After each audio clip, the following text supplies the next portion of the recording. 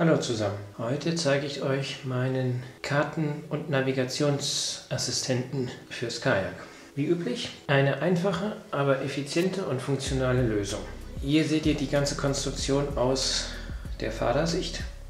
Wir haben also links die Möglichkeit, eine Karte einzuklemmen. Hier sind zwei, zwei von diesen Halterungen, die man von Klemmbrettern kennt.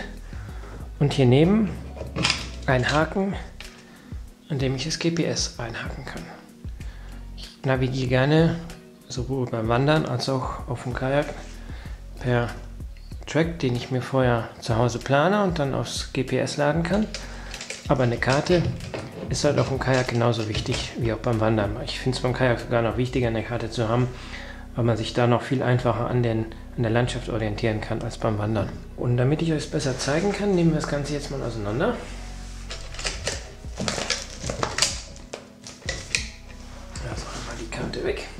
Dann das Navi aushaken. Die Sicherungsleine entfernen. Und dann sieht man die Grundkonstruktion. Auch hier wieder das Navigationspanel ist mit dem Schnellverschluss befestigt, wie viele andere Anbauten, die ich habe auch. Da kommen wir später in einem anderen Video nochmal zu. Und dann haben wir die Halterung, das Grundsystem ist eine beschichtete Aluplatte. Die kann man sich im Internet so fertig nach Maß bestellen. Dann diese Klemmen, die kann man ebenfalls, kriegt man die bei Amazon recht günstig. Sind auch einfach befestigt, einfach pro Klemme zwei Bohrungen, Blindnieten rein, fertig. Hier als Halterung für, für das GPS habe ich dann auch wieder ein Lochblech verwendet. Das hatte ich auch schon mal an der Stelle auch schon mal gezeigt. Dann auch wieder einfach zwei Löcher, Blindennieten rein. Und die Sache hält. Die Schnur ist eine Trimmerschnur vom Rasentrimmer. Die ist extrem stabil.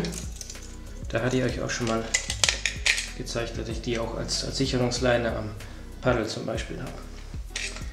Die kann man einfach hier dann wieder mit aufgepressten Kabelschuhen versehen. Und dann ist das Ding sicher, kann nicht weg und sichert dann wenn man es über den Haken befestigt, das GPS-Gerät. So, als Sonnenschutz habe ich einen Kunststoffeimer zerschnitten und mit der Heißluftpistole das Ganze hier in Form gebracht. Dann kann man das hier sehen. Das ist also einfach ein Reflexions- und Blendschutz für die Sonne. Der spendet dem ganzen Schatten und man kann die Karte auch lesen, wenn der Sonne stark scheint. Von hinten dann auch wieder durchgebohrt, vernietet und das Ganze hält. Alunieten, damit auch wasserresistent. Als Montage eine Aluschiene genommen, die allerdings in dem Fall verschraubt. Falls man da nochmal nachkorrigieren muss, ist es immer sinnvoll, bei sowas Schrauben zu nehmen.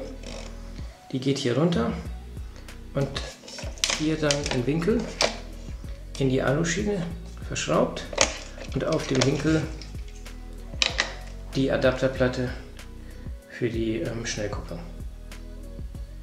Somit auch wieder wie alles andere schnell zu demontieren und bei Bedarf schnell montiert. Sieht man dann hier einsetzen, reinklicken, fertig. Das ist fest. Hat sich schon bewährt auf mehreren Touren und würde ich jederzeit wieder so bauen. Wenn ihr Ideen habt, zu verbessern, Vorschläge, Kommentare, gerne in das Kommentarfeld unter dem Video. Ich freue mich da auf rege Diskussionen. Verbesserungsvorschläge sind immer willkommen. Abonniert mich gerne, wenn ihr mehr von solchen Videos sehen wollt. Und dann sage ich danke fürs Reinschauen und bis zum nächsten Mal.